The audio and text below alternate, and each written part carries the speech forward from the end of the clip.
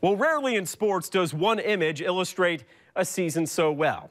This photo right here is something a lot of our local teams were unable to get. That's because seasons were over and players, well, back home before you could even blink. Looking back on it now, the OCC Lazers are so happy they have it. They say a picture is worth a thousand words. Turns out this picture is worth everything to the 2020 OCC baseball team. The kids here are wonderful kids to be around. They're from all walks of life, all socioeconomic. So I don't know what it was. I just had a vibe that this could be kind of it. It was March 12th, not too long ago.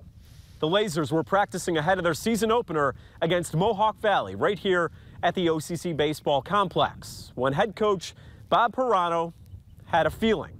So we decided to snap this photo. The only documentation to remember a team that never got to show what it could really do. You know, that could be the last time I see some of those guys because, you know, we have guys from all over different countries, so having that photo really means everything.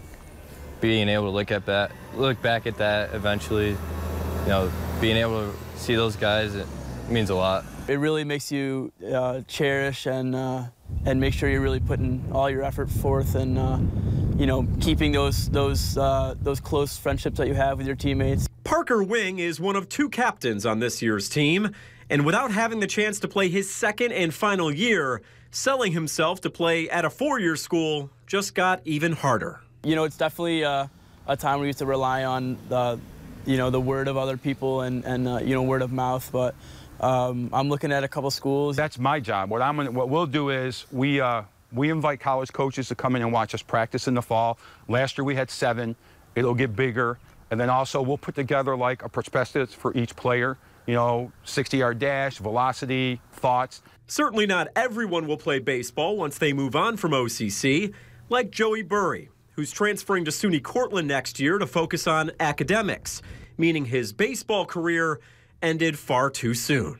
Yeah, this is probably one of the worst ways to go out, not playing the last season, but looking back on it, um, I'm very happy that I did get to play college baseball here. These are the faces of a team whose season was lost. I think I'll look back and say, like, wow, you know, I can't believe that actually happened. Unable to prove themselves on the diamond while treasuring a photo that'll last a lifetime. I already printed it out in an 8x10 and have, have it framed, so it's something I'll have forever.